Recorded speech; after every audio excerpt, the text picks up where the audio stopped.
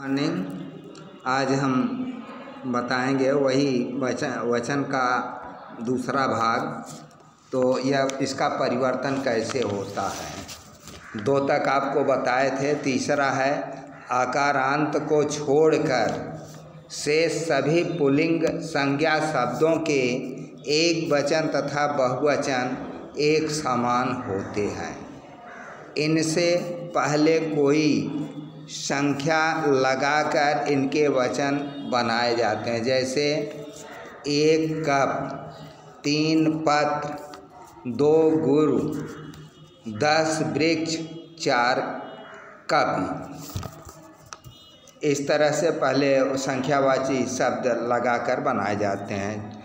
चार है, जिन स्त्रीलिंग शब्दों के अंत में या होता है या होता है, उन, उनमें या के ऊपर चंद्र बिंदु लगा देते हैं। जैसे गुड़िया है तो गुड़िया कर देते हैं, या पर चंद्र बिंदी लगा देते हैं। चिड़िया चिड़िया। तो पाँचवा है, पर सर्गों, अर्थात कारक चिन्हों के साथ।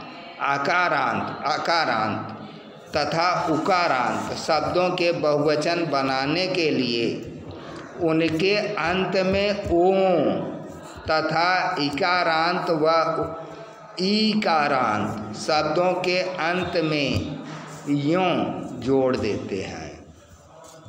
छठा है, सभी अकारांत स्त्रीलिंग शब्दों के अंत में ए, जोड़ देते हैं। जोड़ देने पर उनके बहुवचन बन जाते हैं। जैसे वार्ता है, वार्ताएँ। लता है, लताएँ। सतवां है, संबोधन। में सभी पुलिंग एवं स्त्रीलिंग शब्दों के बहुवचन रूपों में अंतिम स्वर के स्थान पर ओ हो जाता है। जैसे कवि, कवियों, पिता, पिताओं, बह, बहु, बहुओं। आठवां है किसी के प्रति सम्मान, आदर, बड़प्पन, शिष्टता आदि को प्रदर्शित करने के लिए। हम एक वचन के स्थान पर बहुवचन का प्रयोग करते हैं। जैसे, मेरे पिताजी बीमार हैं। हैं। अब यहाँ पिताजी को सम्मानित करने के लिए बहुवचन हैं का प्रयोग करते हैं। अब नवा है, द्रव्य सूचक, जातिवाचक संज्ञाओं का प्रयोग। प्रायः एक वचन में ही किया जाता है, जैसे तेल, घी, जल, दूध, इनकी कोई काउंटिंग होती नहीं। ये द्रव्यवाचक हैं तो इनका एक वचन में ही प्रयोग होता है।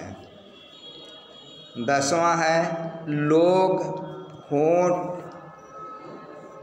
ओठ होश बाल, प्राण पुष्प, हस्ताक्षर अक्षर दर्शन आदि शब्दों का प्रयोग सदैव बहुवचन में किया जाता है। एक वचन के लिए इनके पहले एक जोड़ा जाता है, जैसे, मेरा एक बाल सफ़ेद हो गया। वैसे अगर बाल सफ़ेद हो गया तो नहीं ठीक। अगर एक बाल सफ़ेद है तो उसका नाम ले लेंगे कि एक बाल सफ़ेद हो गया। मेरे बाल सफ़ेद हो गए। अब ये बहुवचन हो जाएगा। एक बाल सफ़ेद हुआ तो एक लगा देंगे। इस तरह से ये हम वचन का परिवर्तन करते हैं।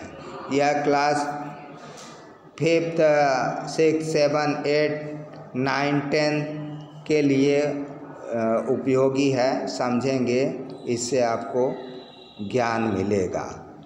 थैंक यू धन्यवाद। आगे हम फिर बताएँगे।